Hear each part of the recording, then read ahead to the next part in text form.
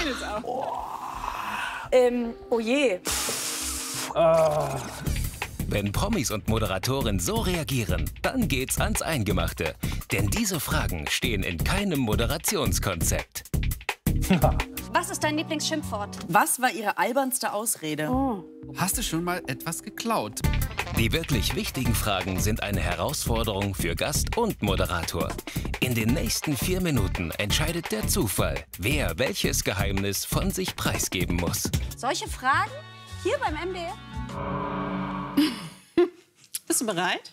Also jetzt nach diesem Film habe ich ein bisschen Angst vor dem, was hier Also, auf dem Tisch es liegt. läuft folgendermaßen ab. Wir ziehen abwechselnd eine Frage, stellen die der anderen Person und, und kann man darauf antworten oder auch nicht. Insgesamt vier Minuten haben wir und die starten jetzt und ich fange natürlich an.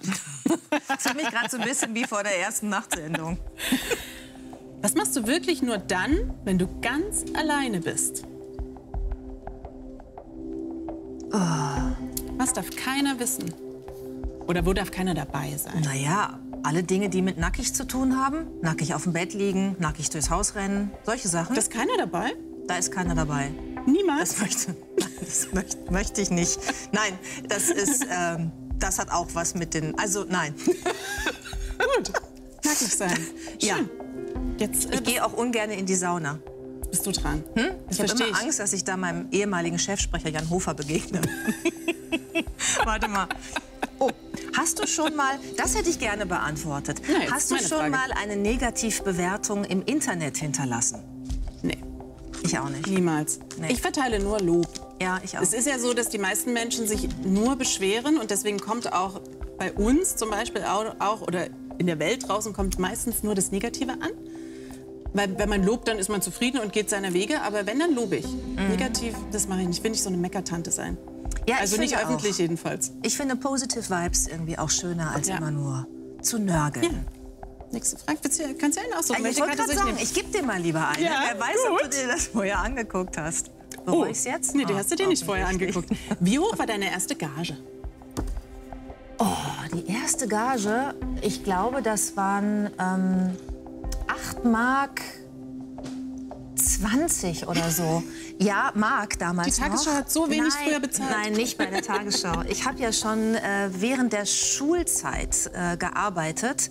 Ähm, und nicht nur journalistisch, später dann mit 18 bei Tageszeitungen, sondern auch, ich habe auch Zettel verteilt. Mhm. Ich habe zum Beispiel für den Edeka-Laden, weil der gehörte einem Freund von meinem Vater, habe ich diese Werbezettel äh, verteilt in der Nachbarschaft. Und da meine ich, ich, ich meine, der Stundenlohn hätte da bei, bei Mark. 8 Mark 20 gelegen. Und davon hast du dir dann später von ganz, ganz vielen Arbeitsstunden ein Pferd gekauft mit zwölf. Ne? Das stimmt. Wahnsinn. Das Ah, stimmt. nee, du bist Wobei das mit dem Edeka-Laden war nach dem Pferd. Das Pferd habe ich mir finanziert durch alles immer zum Geburtstag wünschen, zu Weihnachten wünschen, sammeln.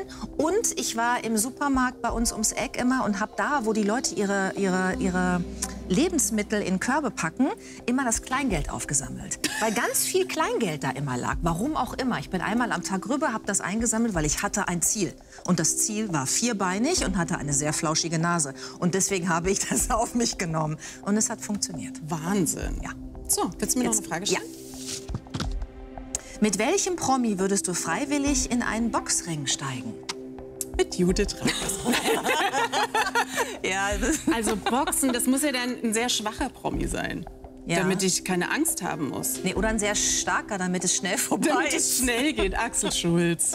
Ich würde Henry Maske nehmen. Ja, super. Ich glaube, der wird nicht zuschlagen, der ist so Gentleman. Der Gentleman-Boxer. Ja, ich glaube, der Vielleicht- würde sich dann totstellen. Ich würde nur so machen und er würde so tun, als sei er K.O. Ich würde die Boxen schicken, die beiden, und wir gehen was trinken. Was war das ungewöhnlichste, der ungewöhnlichste Wunsch eines Fans an dich? Oh Gott, da gibt es so viele ungewöhnliche Wünsche. Das also bitte, bitte schick mir äh, getragene Schuhe. Sie dürfen auch gerne schon vier, fünf Jahre und ganz ausgelatscht sein, wo man immer denkt, ich möchte das nicht lesen und ich möchte es mir auch nicht vorstellen. Solche Sachen. Solche Sachen. Ja. Okay, eine Frage schaffen wir noch. Ja. Du Ach so, sie mir. äh, Entschuldigung. Was war die bisher schlimmste Zeitungsente über dich? Also Falschmeldungen. Ja, gerade eben, aktuell, dass ich äh, 42 Jahre alt bin. Das stimmt ja wohl überhaupt nicht. Ich bin noch 41. Ich habe erst in zwei Wochen Geburtstag. Ach, weißt du, wenn das das schlimmste Problem ist, dann ist doch alles in Ordnung. Bam. So. Oh, das war doch, äh, das war noch mal was ganz anderes. Ja. Schwitzt du auch? Ich schwitze ein Ja, bisschen in ich, meinem, äh, in ja. meinem dicken, dicken, dicken Pullover. Ja, man hat ja auch Angst, dass man sich verplappert so im Eifer des Gefechts. Ne? ist das jetzt passiert? Nein, Oder ist es ich nicht glaube passiert? nicht. Ich glaube auch Ich glaube, Jan Hofer ist nicht sauer, wenn er erfährt, dass ich ihm nicht in der Sauna begegnen möchte. Vielleicht das als Schlagzeile morgen. Das wäre, Möglicherweise. Das wäre schön. Ich würde sagen, wir gucken noch mal auf den Bauernhof von Judith Rakers. Ähm, wir haben ein paar Fotos eingesammelt von kleinen Tierbabys. Wir haben ja vorhin hier schon Lämmer gesehen in der Sendung. Und bei dir gibt es kleine Katzen. Was hast du alles für Tiere? Katzen, Hühner, Pferd? Also ich habe, das ist die Frage, hatte ich vorhin gar nicht beantwortet. Es sind mittlerweile 13 Hühner. Bei mir schlüpfen jedes Jahr Küken. Also wenn eine Henne brüten möchte, dann darf sie das. Dann nehme ich die Eier nicht weg. Und dann, deswegen habe ich jedes Jahr irgendwie fünf, sechs Küken. Das ist Charlie, mein Fohlen. Das war mein großer Traum, äh, dass ich das einmal erlebe, dass meine Stute, diese schwarze Stute, das ist meine, äh, seit vielen Jahren, seit elf Jahren, äh, dass die einfach mal ein, ein Fohlen bekommen kann. Ich wollte, das, ich wollte da mal Ist dabei sein. Und ich war auch bei der Geburt dabei. Also dieses große Lebensziel, das war wirklich äh, Top 3 meiner Bucketlist.